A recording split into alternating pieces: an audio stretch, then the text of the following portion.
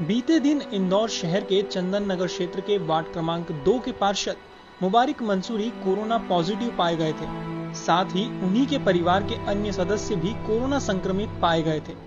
इसके चलते उन्हें अरबिंदो हॉस्पिटल में भर्ती किया गया था, जहाँ उनका उपचार जारी है। पार्षद मुबारिक मंसूरी कोरोना काल में भी हर वक्त क्षेत्र के लोगों के बीच रहे और सेवा कार्य करते रहे, लेकिन ईद के मौके पर उन्हें अस्पताल में ही रहना पड़ा।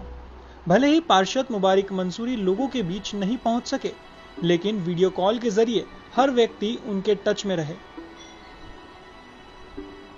वीडियो कॉल का एक ऐसा ही वीडियो सोशल मीडिया पर वायरल हुआ, जिसमें विधायक संजय शुक्ला पार्षद मुबारक मंसूरी को ईद की बधाई दे रहे हैं। वहीं इस दौरान पार्षद मुबारिक मंसूरी ने विधायक संजय शुक्ला को जन्मदिन की बधाई भी दी। इसके साथ ही दोनों ही जनप्रतिनिधियों ने एक दूसरे को स्वस्थ रहने और क्षेत्र के लोगों की इसी तरह मदद करने की बात कही। बता दें पार्षद मुबारक मंसूरी पिछले लंबे वक्त से अपने क्षेत्र में सक्रिय थे और गरीब व असहाय परिवार की मदद कर रहे थे। मुबारक भाई आपको ईद की बहुत बहुत बधाई। क्योंकि आप लॉकडाउन के अंदर आपको कोरोना पॉजिटिव होने के बाद भी आप अस्पताल में तो मैं अपनी ओर से अपने परिवार की ओर से और कांग्रेस परिवार की ओर से आपको ईद की बहुत बहुत बधाई देना चाहता हूँ। और भगवान प्रार्थना करता हूँ अल्लाह से प्रार्थना करता हूँ कि आपकी मनोकामना पूर्ण हो जल्दी स्वस्थ होकर आप घर पे आए। बहुत बहुत शुक्रिया।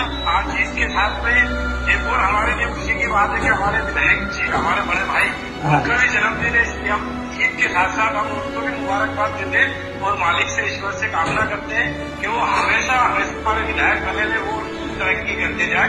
और आपकी उम्र में बरकत thank you very thank you very भाई।